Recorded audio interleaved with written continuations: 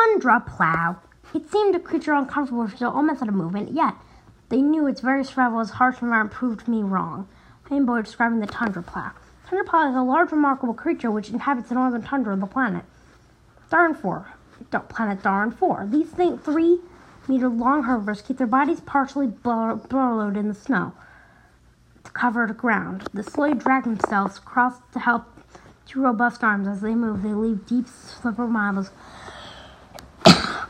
of long furrows on the ground surface. Their average speed is 40 miles meters per hour. Their terrain portion of the tundra plow's body is a tough organic snowplow. Three pairs of mouth grooves, specialized structures used to collect snow, filtering moisture and nutrients. When the, well, the creature's nostrils are located on the above ground part of their bodies. The mouth is placed below the ground. At the end of the extendable proboscis, which is used to grab plants and pull them from underneath.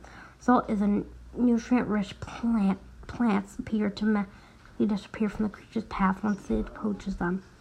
Homeworld, Darwin for Habitat, Tundra. Height 3 meters, okay. Locomotion, biped, diet, herbivorous. Plots, Arctic cactus.